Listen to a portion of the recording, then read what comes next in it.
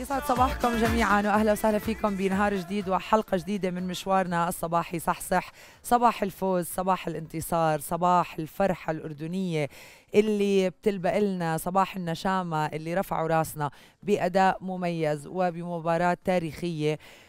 أبسطتونا وأمتعتونا وفرحتونا وإحنا اليوم يعني ممنونين لمنتخب النشامة وللكادر الفني وللكادر الطبي ولكل شخص يعمل خلف هذا المنتخب وهذا الفريق الرائع اللي قدم امبارح أداء بطولي وأداء أردني تاريخي. إحنا لأول مرة بنشوف كرة القدم الأردنية بهذا التميز بهذا الاحتراف خصوصا أمام فريق مثل فريق كوريا. اليوم إحنا مبسوطين كثير وأكيد رح نحكي أكثر عن مباراة يوم أمس ورح يكون في معنا اتصالات هاتفية مهمة أيضا. خليكم معنا من هلأ لغاية الساعة 12 نادية للأسف ما قدرت إنها تكون موجودة كثير كانت حابة اليوم تكون موجودة ولكن زيد شوي مريض وتعبان فسلامة قلبه. وإن شاء الله أكيد الفرحة بتوصل لقلوب كل جماهير الأردن ومش بس بعمان وإنما بكل المحافظات وبمختلف أرجاء الوطن العربي. جلالة الملك عبد الله الثاني ابن الحسين هنأ المنتخب الأردني عبر منصة أكس وقال أدهى النشامة أو قدها النشامة رفعتوا راسنا. مبارك لكم ولكل الأردنيين وصولكم لنهائي كأس آسيا. راية الأردن مرفوعة دوما بهمة أبنائه وعزيمتهم. حي الله النشامة. يعني امبارح أنا بال بالساعات اللي ما قبل هذه المباراة كنت عم بحضر تحليلات رياضية من لبنان ومن الإمارات ومحللين رياضيين وكانوا عم بيحكوا للأسف بصيغة إنه الحمد لله المنتخب الأردني وصل لهون. كرة القدم فيها حظ فبالتالي اليوم يعني المنافسة جدا صعبة مع المنتخب الكوري. وهذا كلام صحيح أكيد المنتخب الكوري منتخب له باع طويل وخبرات متتالية واللاعبين اللي عنده بيلعبوا بأهم الفرق العالمية. ولكن من الدقائق الأولى كان واضح قديش النجامة كانوا مسيطرين وقديش كان في لعب مش عشوائي. مزبوط كان في بعض الفرص اللي خسرناها ببداية المباراة ولكن كان في سيطرة وكان في تملك على الكرة واضح جدا. فبالتالي لكل اللي راهن إنه منتخب النشامة وصل بالحظ ولا وصل لأنه والله يعني هيك الدنيا عم تضحك لنا امبارح مباراة امبارح أثبتت للجميع بأنه منتخب النشامة منتخب محترف منتخب آه وفريق كامل متكامل وقدم مباراة تدل على أداء مميز جدا ولعب غير عفوي وغير عشوائي. فبالتالي فوز يوم أو يوم أمس مش بس كان فوز ووصولنا إلى نهائي كأس آسيا وإنما كمان إثبات لكل من قال بأنه إحنا وصولنا كان لأن لعبنا مع الفريق الفلاني ولا لأنه الحظ كان معانا. مباراة امبارح خلص. جول يعني رسمي زي ما بيقولوها. يعني من أكثر الوجوه أنا ما بدي أحكي عنه على الصعيد الشخصي بس من أكثر الوجوه اللي شفنا فرحته بكل مباراة من بداية كأس آسيا. تعبيراته. الفرح اللي كان بعيونه كان بيعبر عن فرحة كل أردني وأردنية. بيسعدنا اليوم يكون معنا عبر الهاتف نائب رئيس اتحاد كرة القدم الأردني معالي السيد مروان جمعة. يسعد صباحك. يسعد صباحك. هذيك ست رهف وست نادي هلا. ندوشة اليوم مش موجودة. إيه؟ أنا ما طب يلا ست فرح. ست رهف بس يسعد صباحك يعطيكم العافية وألف هلا ألف هلا مبروك هلا للمنتخب الأردني ولكم جميعا ولسمو الأمير علي. ويعني فرحة أردنية رسمتوها على وجوهنا. خبرنا عن أجواء آه الإستاد امبارح آه بداية. بعدين بنبدا نحلل المباراة شوي شوي. نحن تفائلنا فيه لعبنا فيه ربع نهائي غلبنا فيه لما رفع نلعب في نصف النهائي كمان تفائلنا بزيادة. ملعب حلو كثير نعم. أول شيء ملعب بيتي كان كله أردني. يعني في ألف كوري والباقي كلهم اردنيه فحضور عظيم كان. الجو الجو مخيف. ولأنه المباراة كانت حلوة كثير. اللعب كان عظيم. ما حد يمكن كوريا ما توقعوا راح نلعب بهذه الطريقة. يعني يعني فاجأناهم. نعم. هجوم من أول ثانية وفرص من أول ثانية وأهداف عظيمة. وطبعا تأهل لآسيا. تاريخي بالنسبة لنا فتخيل الأجواء كيف كانت أرض الملعب. والوجود الالتراز من الفرق الأردنية وجود الروابط اللي كان يهز هز الملعب. نعم.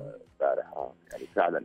لما يحكوا هز الملعب فعلا امبارح كان الملعب كان الملعب فعليا بهز. عظيمه عظيمة طبعا. وأنا كنت عم بحكي قد كان في محللين كانوا عم يحكوا بأنه اليوم يعني المباراة عم يحكوا قبل مباراة أمس بأنه وصول الأردن يعني كان ممكن آه، ممكن كان فيه حظ آه، في كثير ناس أنا عم بحكي من المحللين الرياضيين العرب آه.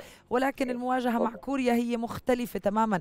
امبارح مفاجأة أداء آه، احترافي وما حدا بيطلع له يحكي عن المنتخب غير إنه يعني سيطرة من بداية المباراة لنهايتها. يمكن مفاجأة للجمهور أو بعض الناس توقعوا الفريق الكوري يخوفنا. نعم. المدرب حكى احترموا الخصم بس ما تحترموه أو تخافوا منه زيادة عن اللزوم. لأن إحنا عارفين عارفين شو في عندنا. عارفين إمكانياتنا. عارفين قدرتنا. عارفين المواهب اللي عندنا وعارفين وشا- شايفين شايفين لعبنا. ونحن داخلين واثقين من نفسنا. وعارفين رح نقدر ننافس ورح نقدر نغلب. كان واضح. وهذا من أول بطولة ال- العقلية اللي زرعناها في عقل اللعيبة. وهن هن كمان باينين بالموضوع. نحن مش جايين نشارك هون. مش جايين نطلع من الدور الإقصائي وننبسط. مش جايين نوصل على ربع النهائي نحكي انجزنا قلنا ارفع سقف التوقعات. هدفنا زي أي فريق قوي ناخذ البطولة. ونحن سبحان الله إحنا نازلين بفندق بطل الطابق اللي بنتقدم نتعشى نفطر فيه بطل على ملعب لوسيل ملعب النهائي. مم. كنا من أول يوم نحكي نحن نازلين هون لسبب. في قدر دستني. نازلين هون لسبب. بنطلع كل يوم على هذا الملعب. نخلي عيننا عليه عشان بالآخر هدفنا نوصل لهاي النهائي. وهينا وصلنا. صرنا التاريخ بس دائما بعد كل مباراة راح نحكي نفس الجمله نفرح ننبسط نحكي نفس الجملة المهمه ما انتهت. المهمه ما المهمه ما انتهت. انتهت. نعم. فهلأ عم نركز المهمه ما انتهت. آه، بس ما عم نحط على هذا ضغط زيادة. كلها عارفين حجم المسؤولية. بس عم نحكي للعيبة انبسطوا كل ثانية. اصنعوا ذكريات هاي ما بتنعاد. لما الواحد بيحاول يدور على على الفرح افرحوا هلأ. افرحوا أنتم عايشين كل لحظة وما تنسوها. لأنه كمان الكل فرح الكل فرحان. انه صنعنا يعني جبنا الفرح لكل أردني أردنية. دخلنا الفرح لبيت كل أردني أردنية. ولاحلنا في غزة في ظروف الكل عم بدور فيها على الفرح حتى لو ساعة ساعة ونص تنسينا الأوضاع اللي إحنا فيها. مزبوط والكرة القدم اللي كان بيستقل فيها شاف أهميتها. مم. آه، الرياضة كيف بتلم الكل كيف توحد الشارع كيف توحد الصف كيف الفرحة كيف بتغير المود بشكل بشكل كبير على البلد ككل. الحمد لله الحمد لله. بس كمان هينا متحمسين ليوم السبت إن شاء الله. إن شاء الله. اليوم عندك توقعات؟ هل هل كمنتخب أردني عندكم أفضلية يعني نلعب مع قطر أو إيران؟ ولا لا زي. ما صرحت على. النصف نهائي مش مهم مين مع مين نلعب؟ فريقين فريقين آه، قضايا. هلأ آه، طبعا قطر ملعب بيتي راح يكون لهم نعم. جماهيري كبير. اذا بنلعب معهم. إيران إيران فريق قوي جدا. شفنا شو عمل مع اليابان. وعنده تاريخ كرة قدم. عريق يعني فما راح تكون مباراة سهلة، النهائي بصير فيها أي شيء. النهائي غير عن أي مباراة يعني الأعصاب بتأثر كثير، الوضع الذهني بيأثر كثير، اللي عنده جاهزية ما بيفتكر أخطاء عادة بيفوز. فأي شيء ممكن يصير، بس يعني 50 50 حصتنا زي أي فريق ثاني ويعني وصل اللقب هلا يعني ها قربنا نحكي أبطال آسيا إن شاء الله. قربنا نحسب حالنا قربنا إن شاء الله. إن شاء الله يا رب. نمشي على نفس الوتيرة نفس نفس ال- نفس نفس اسلوب اللعب نفس الثقة. ونفس المواهب اللي عندنا. أنا اهم شيء الناس شافت صرنا نحكي فترة هذا أحسن جيل في تاريخ الكرة الأردنية. مزبوط وبين هذا الجيل ظهر بينت المواهب اللي عندنا. الهجوم اللي عندنا لما لما يكونوا ماسكين الطابة ونازلين على الهجوم الدفاع بفضل يعرف شو مين يمسك. مم. شفت امبارح يعني لخمه الدفاع ال- الكوري. كأننا بنحضر مباراة ل... لميسي ولا ال- ال- التعمري في آه. جزء تعدى خمسه مع بعض. يعني حتى أخوي كنت آه. عم بحضر الجيم معه قال لي شو هذا؟ هدول أردنية؟ يعني إحنا لأول مرة بنشوف هاي المواهب. فهذا بحد ذاته آه، إنجاز إنه خلي الناس تعرف إحنا شو عنا بالمنتخب الأولاد الوطني. الاولاد نراها في دائما بنحكي بيحكوا على ميسي ورونالدو. آه. هدول بالنسبة لهم القدوه هدول بالنسبة للأبطال. هلا صارت الناس تحكي تعمري آه، يزن انعمات. آه،. علي آه، يزيد إحسان صار في أسماء أردنية.